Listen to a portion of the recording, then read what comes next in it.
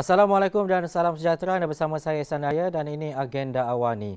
Bila kita bercakap berkaitan dengan vaksinasi, capaiannya harus menyeluruh. Bukan sahaja di bandar-bandar besar, malah di setiap kawasan tempat perlu direalisasikan agar imuniti kelompok dapat dicapai menjelang akhir tahun 2021.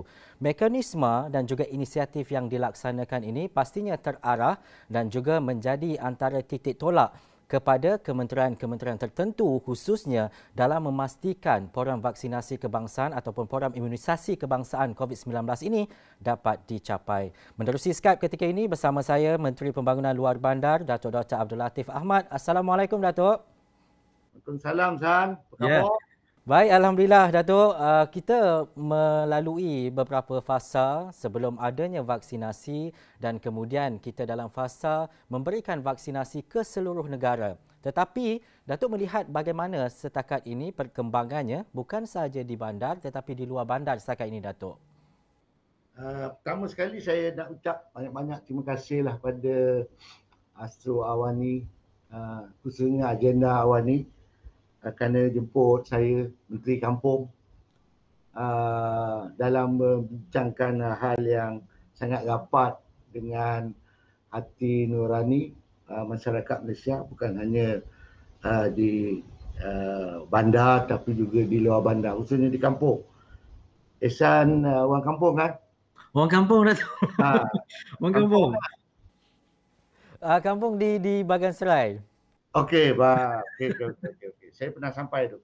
Okey, uh, yeah. uh, Ehsan tanya pasal pendaftaran. Hmm. Uh, kemudian pengambilan. Jadi bila bila kita nak cocok orang kena daftar dulu. Hmm. Kan? Kemudian kita ada digital platform. Kita ada juga masalah-masalah kawasan-kawasan yang tidak di uh, ada coverage atau liputan internet maka kita akan ada uh, vacuum di mana kita kena urus mereka-mereka yang tidak ada uh, tidak boleh mendaftar secara online. Yeah. Jadi isu-isu yang sebegini rupa ni uh, dia merupakan satu isu yang baru bila hmm. kita berhadapan dengan uh, program yang kita panggil PIK uh, iaitu program imunisasi COVID kebangsaan yang dipengerusikan oleh dua jago iaitu Datuk Seri Dr. Adham dan juga KJ. Dia yang uh, menjadi pengurusi bersama. Yeah. Itu arahan kabinet. Kemudian pada waktu yang sama uh, kita ada CIEF maknanya COVID Immunization Task Force yang hmm. dipengurusikan oleh uh, yang berhormat Menteri Musti uh, kita di KPLB ni hanya setakat uh, the partners.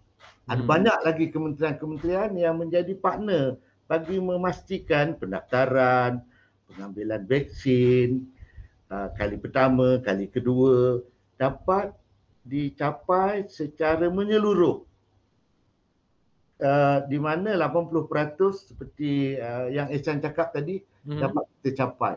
Yeah. Sejujurnya nak capai 80% ni bukan mudah. Cakap senang tapi nak capai 80% ni uh, adalah satu cabaran dan dugaan.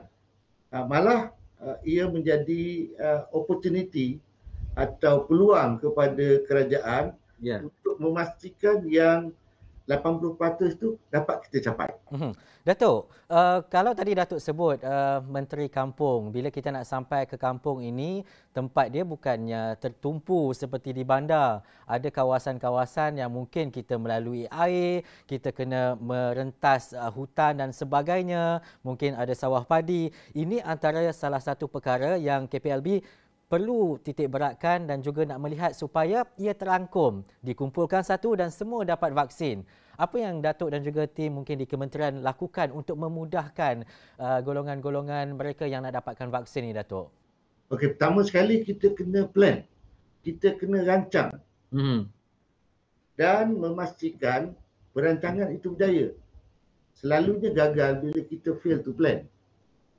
Anything that is, if you fail to plan, uh, sudah pasti plan itu tidak akan berjaya.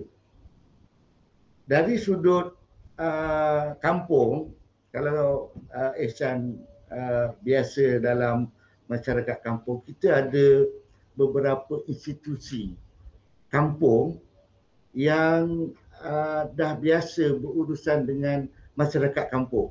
Masyarakat kampung ni dia dia sangat uh, terangkum dan dia uh, uh, connected atau bersambung urus bertali arus mm-hmm. dengan uh, institusi yang sedia ada umpamanya JPKK Jatan Kuasa uh, Pengurusan Komuniti Kampung yang ada di seluruh negara baik di wilayah Sabah, di wilayah wilayah Sarawak dan juga di Semenanjung. Kita ada lebih kurang 17,757 ketua kampung yang ada kabinet dia masing-masing. Hmm. Dan dia juga terikat dan disambung dengan mukim yang diurus oleh kaki tangan awam iaitu penggulu. Kemudian dia ada uh, pegawai daerah. Jadi uh, kekuatan ini uh, ada pada KPLB dan juga kerajaan negeri ya. Jadi kalau kita mengukuh uh, kuatkan organisasi dan institusi yang sudah sedia ada di kampung, kita tak banyak sangat masalah. Saya bagi contohlah kalau banding dengan dengan bandar. Bandar dia tak ada JPKK, dia mungkin ada jawatan kuasa taman. Mm-hmm.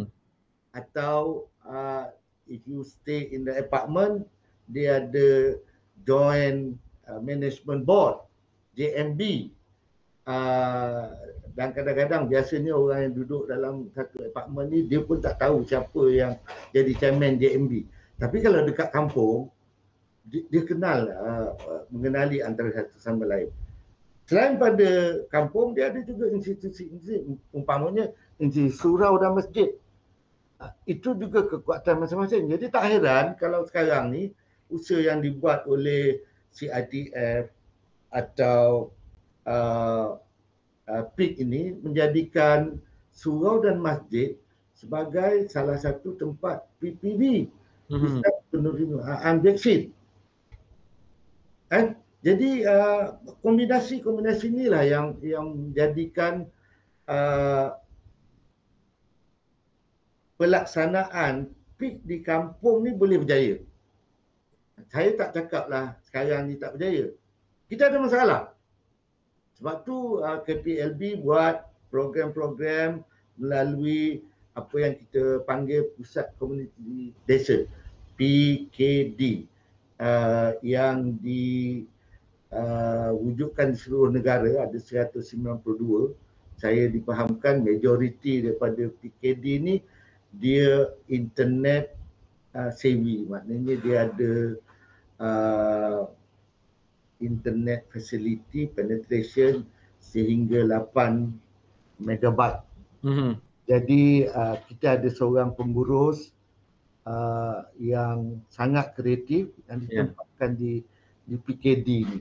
Mm-hmm. Dengan adanya kerjasama di antara PKD dengan uh, DPKK Penggulu kita dah mulakan pendaftaran uh, vaksin ni uh, semenjak seingat saya 20 Mei.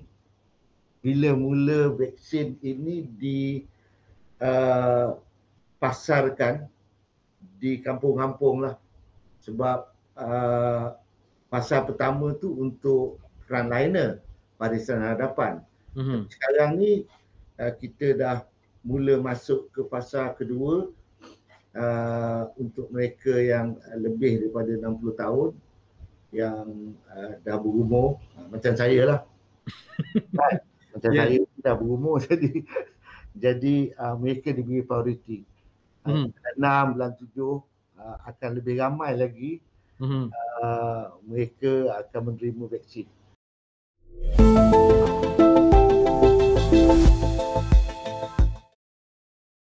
Ya, Datuk, Um, nak, nak katakan kampung ini mencabar mencabar jugalah seperti tadi kita nak cakap pasal logistik dan sebagainya. Bila Datuk sebut uh, berkaitan dengan uh, pusat daftar vaksin luar bandar yang mungkin dua minggu lalu uh, di seluruh negara dapat membantu penduduk luar bandar khususnya untuk mendaftar vaksin dan mungkin ada dalam kalangan uh, warga emas ataupun warga tua yang tak begitu familiar menggunakan MySejahtera dan sebagainya. Bila ada perkara-perkara macam ni Datuk ditambah pula dengan bantuan oleh KPLB ini ini memudahkan sedikit warga emas ibu bapa kita yang berada di kampung itu untuk mendapatkan vaksin. Perjalanannya setakat ini bagaimana Datuk?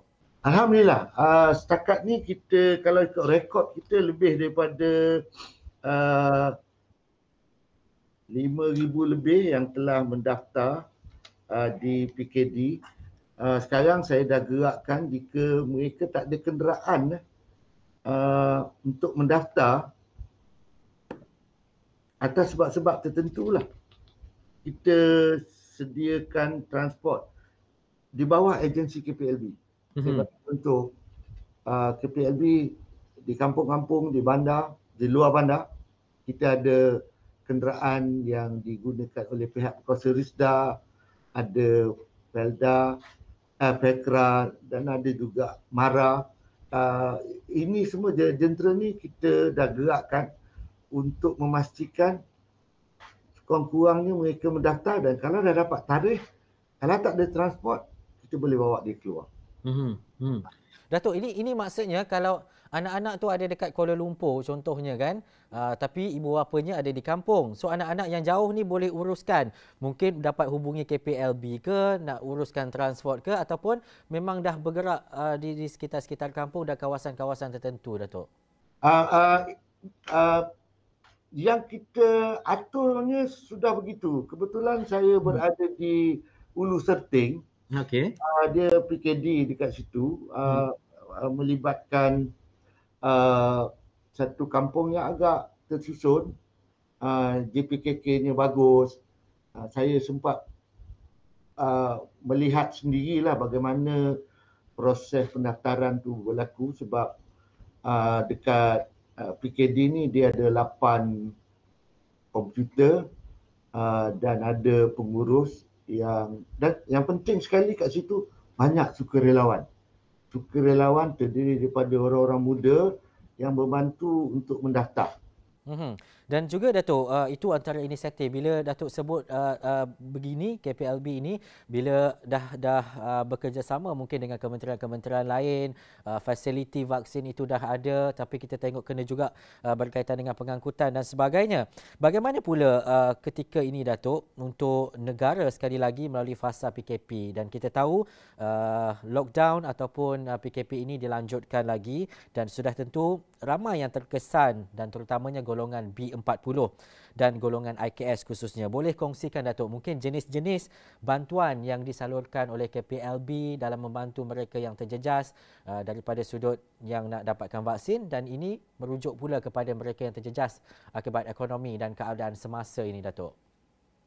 Okey, uh, saya faham sangat sebab uh, bawah agensi KPLB ini adalah satu agensi yang amat dekat dengan luar bandar dan juga bandar iaitu Mara.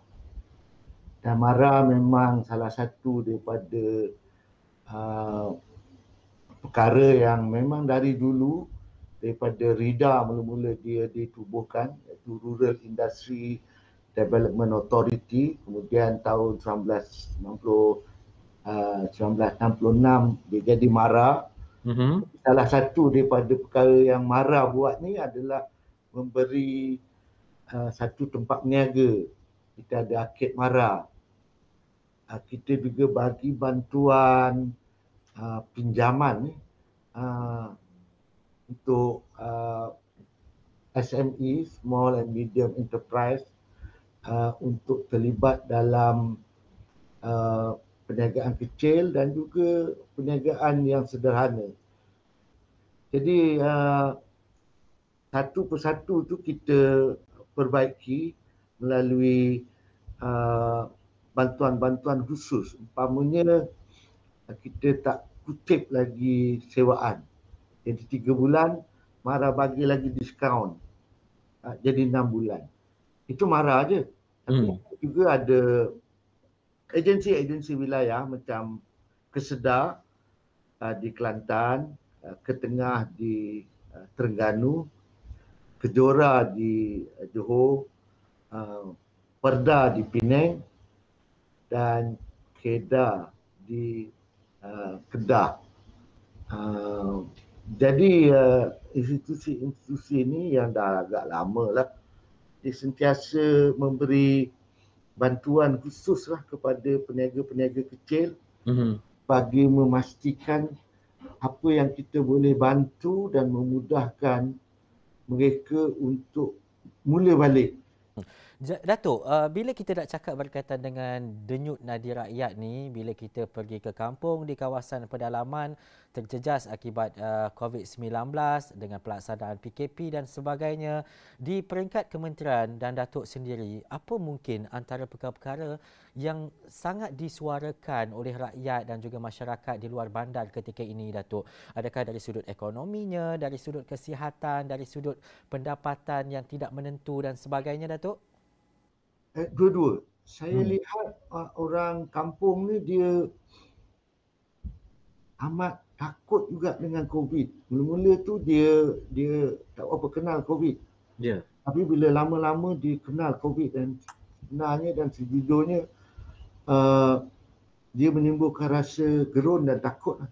sebab kematian dan masuk uh, PKRC atau masuk ke dalam uh, hospital stage uh, 3, 4, 5 uh, itu real lah dan amat menakutkan. Ada banyak uh, kejadian-kejadian yang amat tragis lah yang uh, Asuk Awani pun uh, beri pendedahan kan bahawa uh, kesan daripada kesihatan mereka yang terlibat dalam COVID ni amat menakutkan. Yeah. Itu satu. Uh, bila ada kluster kat kampung, uh, seluruh kampung jadi PKPD, hmm. diperketat, susah nak cari makan. Warung-warung uh, atau uh, gerai tepi jalan yang biasa mereka boleh beroperasi dah kena tutup. Jadi hilang mata pencaharian, hilang uh, kehidupan. Uh, pada waktu yang sama, uh, life atau nyawa juga terjejas. Mm-hmm. Itu itu antara perkara uh, yang yang uh, kalau dulu mungkin uh, pemahamannya tu sekarang dah lebih jelaskan Datuk bila ada uh, penerangan daripada bandar sampai ke kawasan pedalaman kampung media juga mengambil peranan dan akhir sekali Datuk uh, kita tak punya banyak waktu bagaimana KPLB uh, dan juga uh, Datuk sendiri mungkin dalam memperkasa Uh, program vaksinasi contohnya tetapi dalam masa yang sama untuk memastikan um, mereka yang berada di luar bandar ini mendapat uh, perkara-perkara yang adil apa yang ada di di bandar contohnya tetapi uh, di kampung di kawasan pedalaman dan juga luar bandar juga turut menikmati perkara yang sama Datuk.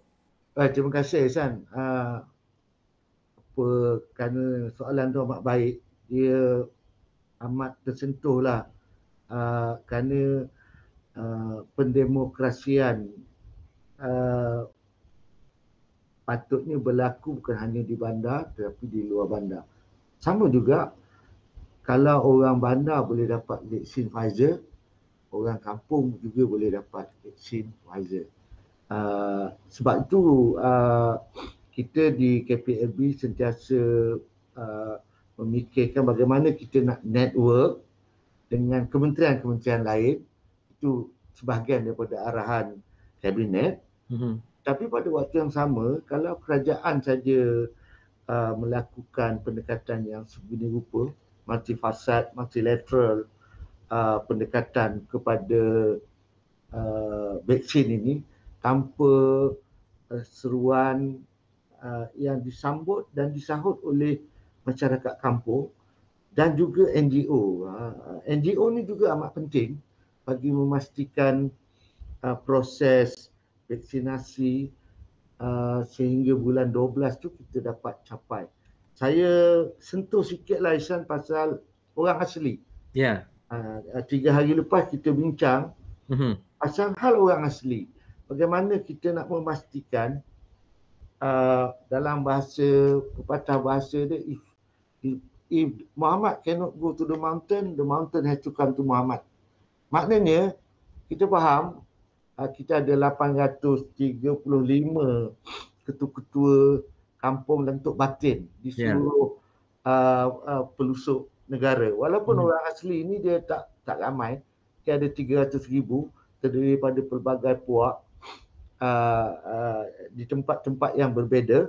Mm-hmm. Tetapi uh, uh, kalau 300 ini tidak divaksin dan kita tak dapat meyakinkan orang asli bahawa vaksin ini bagus untuk melindungi, vaksin ini juga sama dengan measles, uh, polio yang dia dah ambil tapi vaksin ni vaksin baru COVID-19 kalau kita tak, tak dapat yakinkan orang asli negara pun tak selamat. Ya. Yeah. Mm-hmm. Sebab tu uh, kita akan bekerjasama dengan pelbagai pihak uh, mungkin uh, uh, dengan Kementerian Pertahanan kita minta bantu mm-hmm. uh, ATM Angkatan, Angkatan Tentera Malaysia memang dah rapat dengan masyarakat orang asli untuk turut serta membantu kami untuk sampai mm-hmm. uh, vaksin tu ke seluruh pelusuk penempatan orang asli. Mm-hmm.